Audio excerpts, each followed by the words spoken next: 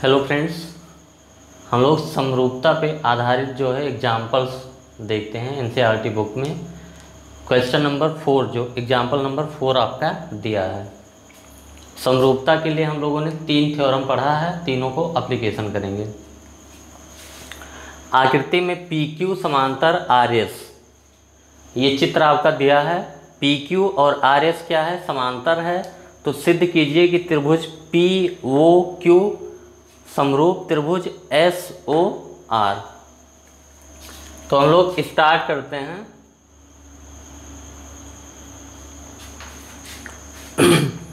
शुरुआत के कुछ क्वेश्चन हम लोग एकदम बहुत अच्छे से करेंगे। एक एक स्टेप बहुत बारीकी से ध्यान में रखते हुए। बाद में हम लोग क्या कर सकते हैं? स्टेप को स्किप कर सकते हैं, लेकिन अभी एकदम आराम से करेंगे हम लोग। सबसे पहले हम लोग क्या देखते हैं कि पी क्यू समांतर आर एस दिया है।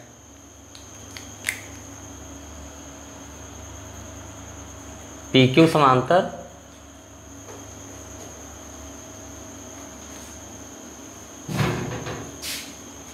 आर एस ए है आपका। दिया है। और हमको त्रिभुज पी वो क्यू समरूप त्रिभुज एस ओ आर ये सिद्ध करना है।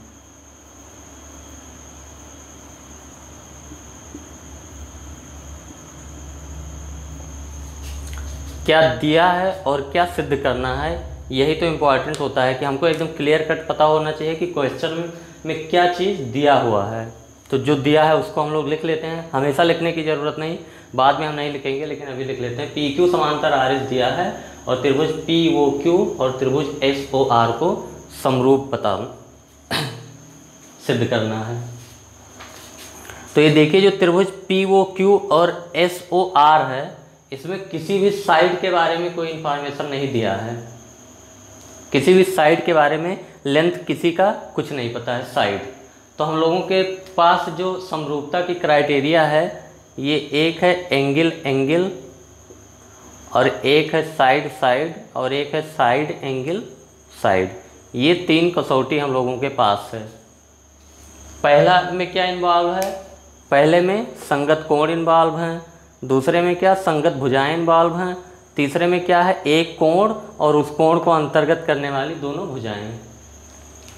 तो यहाँ पे हम लोग जो अप्लाई करेंगे तो साइड के बारे में तो कोई इन्फॉर्मेशन दिया नहीं है। तो साइड का रेशियो आप बराबर, एक भी साइड का रेशियो आप बराबर नहीं सिद्ध कर पाएँगे। तो साइड वाला ये सोचना बेकार है, ये तरीका भी सोचना बेकार है। अपना पूरा फोकस किस पे होगा? एंगल एंगल समरूपता कसौटी पे होना चाहिए। यानी जिन त्रिभुजों को हमको समरूप करना है उन पे एंगल एंगल वाला लगेगा। अब कैसे करते हैं हम लोग? अब हम लोग देखते हैं कि आप ये जानते हैं कि दो लाइन जब कट करती है ऐसे, दो लाइन ऐसे कट करती है तो जो झुकाव ये होता है थीटा, वही झुकाव यही होता है थीटा। इसको क्या बोलते हैं? शीर्षाभिमुख कोण। तो यहाँ पे जो ये एंगल होगा, मैं दोबारा चित्र बना दे रहा हूँ, फिर क्वेश्चन वाले चित्र में जो है हम लोग क्या करेंगे, उसको वैसे क्वेश्चन वाले चित्र में हम लोग कोई हेर फेर नहीं करेंगे, जो हेर फेर करेंगे, जो शो करेंगे, वो अलग चित्र बना के करेंगे। ये P, ये O, ये Q, ये R, ये S ये दोनों लाइन है, ये ये देखिए, ये एंगल जो होगा, वही ये एंगल होगा। तो पहला हम लोगों को क्या मिला? शीर्षाभिमुख कोण उसको बोलते हैं कि कोण और किसी भी एंगल को पढ़ते कैसे हैं? क्यू ओ पी या पी ओ क्यू पढ़ सकते हैं। कोण Q O P Q O P बराबर कोण आर ओ एस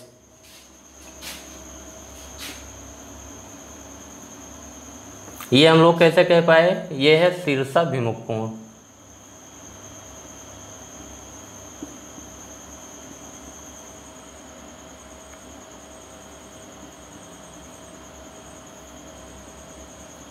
शीर्षाभिमुख कोण जो होते हैं, वो बराबर होते हैं।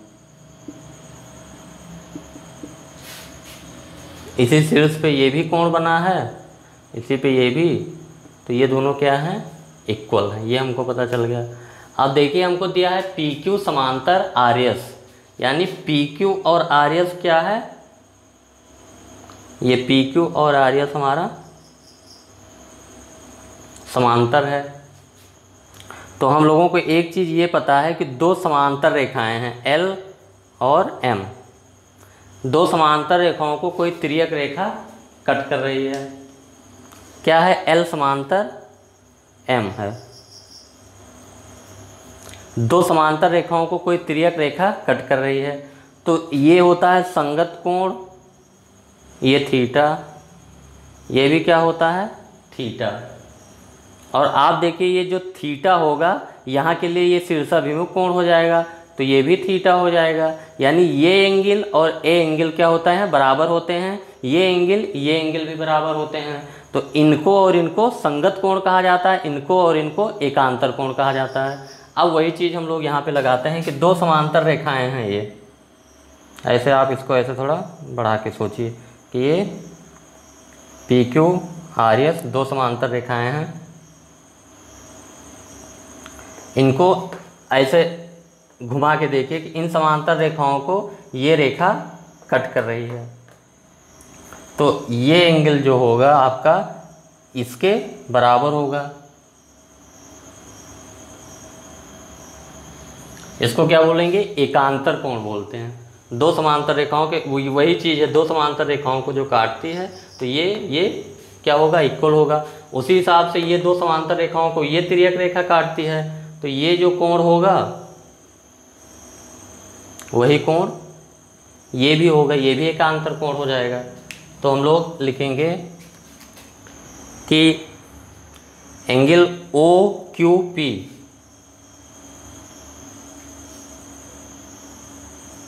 O Q P आपका किसके बराबर है? ये वाला एंगल इसके बराबर है ओ आर एस के। एंगल ओ आर एस के।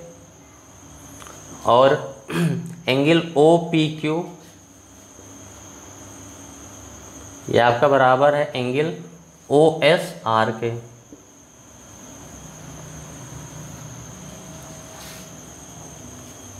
इसका एक्सप्लेनेशन क्या है?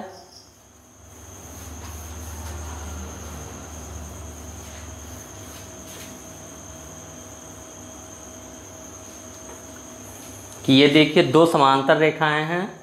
पी क्यू और आर एस आपको दिया है। ये हमने बना दिया पी क्यू और आर एस दो समांतर रेखाएँ हैं, क्योंकि पी क्यू आर एस समांतर है। उनको एक त्रियक रेखा ये कट कर रही है।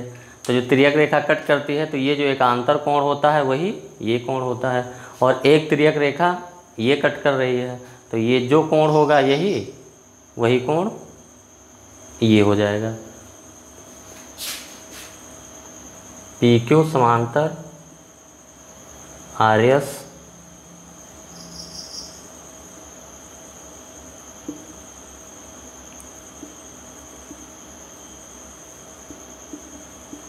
को त्रियक रेखा क्यू आर क्यू आर और पी एस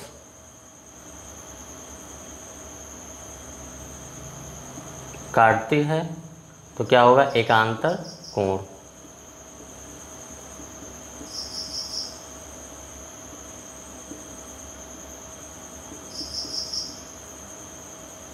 तो ये आप दोबारा समझ लीजिए कि दो समांतर रेखाओं को इसको हम लोग अच्छा दिखने के लिए क्या करते हैं? ये थोड़ा उल्टा बन गया है। दो समांतर रेखाएँ हैं। दो रेखाएँ क्या हैं? समांतर है। इनको कोई रेखा जब कट करती है तो जो ये कोण होता है, यही कोण ये भी होता है। ये पता होना चाहिए कि यल और एम क्या है? एल पैरेलल एम है। तो ये एंगल दोनों क्या होगा? इक्वल होगा। तो अब हम देखते हैं कि जो दोनों त्रिभुज जिसको हमको समरूप सिद्ध करना है, उसके तीनों संगत कोण जो है, अपने आप बराबर आ रहे हैं। देखिए, कोण पी किसके बराबर है? कोण पी कोण एस के बराबर है। हम लोग साठ में लिख सकते हैं कोण पी, जो पी शीर्ष पे बना है उसको कोण पी। तो हम लोग क्या कहेंगे कि त्रिभुज ओ पी क्यू तथा त्रिभुज ओ आर एस में कोण पी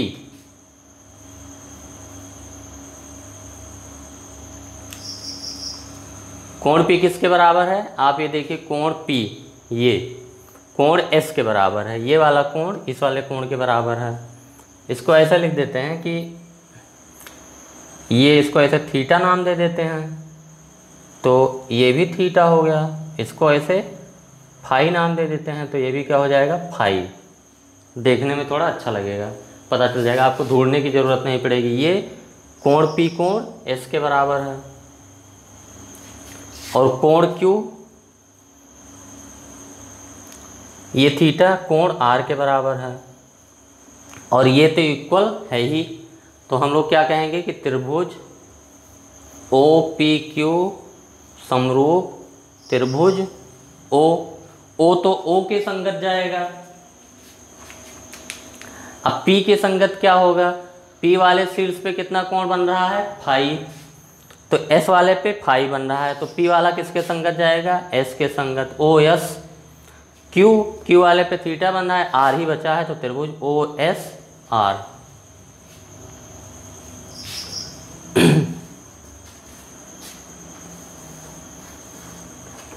अब हम लोग देखिए, ये लिखा है पी ओ क्यू तो इसको जो है थोड़ा आगे बढ़ा के लिखते हैं। इसमें आप चेंज करेंगे। मतलब कि हमको त्रिभुज